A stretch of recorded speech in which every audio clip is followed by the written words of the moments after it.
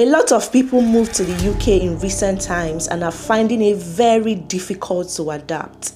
They've not had an easy time settling down in their new environment. This is even further complicated by the rising cost of living in the country. And some have struggled to get jobs and even accommodation, making it more difficult for them.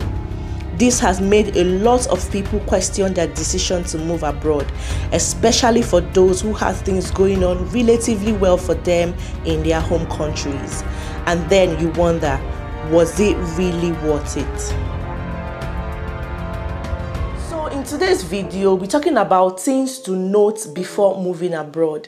That is things you really need to consider if you want to move abroad. This is very important, so you need to watch this video so you will get all the details. So you wouldn't make the same mistakes some of those people who are in the UK today have made and are regretting. And it will help you prepare yourself better for life in the UK. My name is Tochi. You're welcome to my channel. Please like this video already so YouTube can recommend it to more people. Share it to everyone that will benefit from it. To all my returning subscribers, you guys are amazing. You're welcome back to my channel. Recently, there's been lots of information, news, and different things flying up and down on social media. And generally, there's also this misconception about life abroad or moving abroad. So we just need to clear the air and talk about these things so you have a better understanding of what life abroad is like like and why you really need to prepare yourself so that you don't make some certain mistakes and then regret moving abroad afterwards, right? So that is why I'm here to talk about things to consider before you move abroad. Number one, you need to have a plan. You need to have plan A, B, and even C right? You need to really prepare yourself. Personally, I call it the three P's prepare, plan, and pray. If you check, you might discover that some of those people who are regretting today moving abroad are those who just didn't have a plan.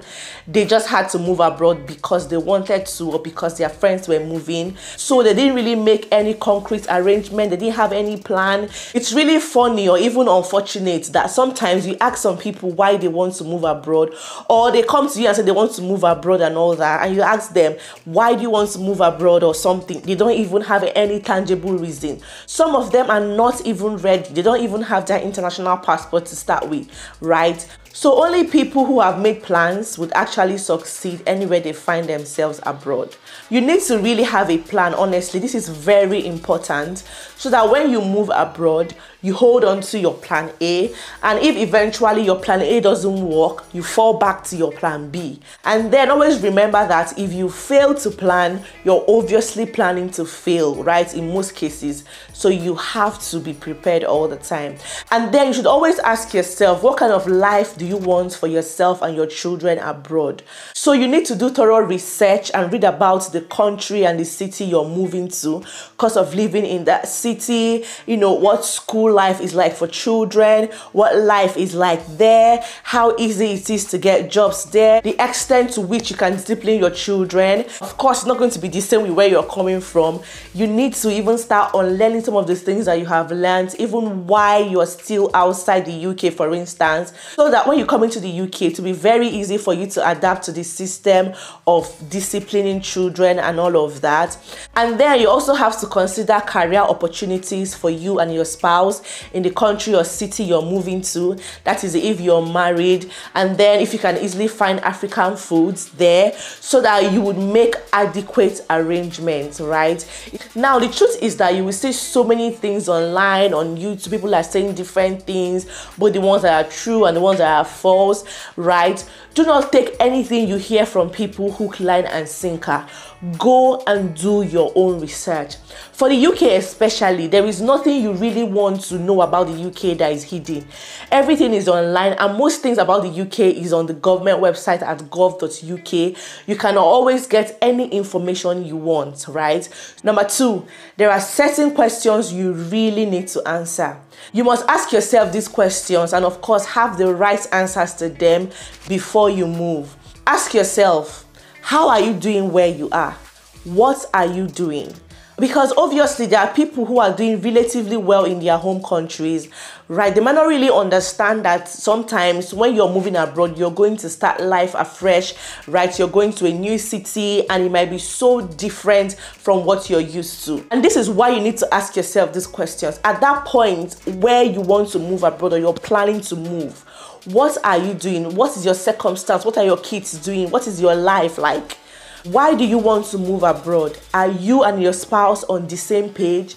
Trust me, if you're not on the same page when it comes to moving abroad with your spouse, you guys might, you know, find it difficult settling down because you have issues and moving alone as a single parent will not even do you any good because there's childcare challenge in the UK especially. So you have to deal with all that and put all that into consideration as well. So you really need to be in agreement with your spouse if you want to move abroad. There are lots of spouses who came to the UK and they're not finding it easy. You know, they are busy regretting, blaming themselves. I was busy doing well in my home country. You made me come. So the man might be telling the woman, I was busy doing well in my home country. You made me come here. Or the woman might be telling the man, I had my career going on well for me in my home country. You made me come here. You promised me this and that. And now it's totally different from what you told me, you know, what we envisaged and all that. And you discover that their marriage will just keep struggling and struggling and might eventually end if not properly handled. So, this is one of the reasons why you and your spouse really need to sit down, go back to the drawing board, and ask yourselves if this move is the best thing for your family. And if you both are in agreement, then that's perfect. And then you ask yourself, which route is best for us to take? Are we going to study abroad or is it basically for career progression? You know, you ask yourself who's going to be the dependent, who is applying for the job, who is applying for the study. You guys have to put childcare and all these things into consideration when making that decision. If you are single, then it's way easier because you just have to decide whether you want to move abroad and what you're going abroad to do, and then you make the move. Number three, understand that you'll be moving to a different society with a different culture, different environment, basically different from what you're used to. This point is also linked to the first point I mentioned. You know, you need to research and read thoroughly about where you're going to, the city you're going to, the people, what they love, and all that. You know, it will be easier for you to settle in if you do that right? So you really need to learn and unlearn some things, learn new things and unlearn some things that you have learned where you're coming from because it's definitely a different society, it's definitely a different culture, you know, different people, different food, the way they reason is quite different from you. A lot of them have different orientations, different ideologies about life, different things, and sometimes when you hear what they say or what they believe in, you just be shocked right? This is one of the culture shock I believe everybody who moves abroad have to deal with. So you must always respect people and what they believe in, okay? There are people who even advise that when you get to the airport, you need to leave some things there, some baggages there before you move into the country proper, okay? That will really help you.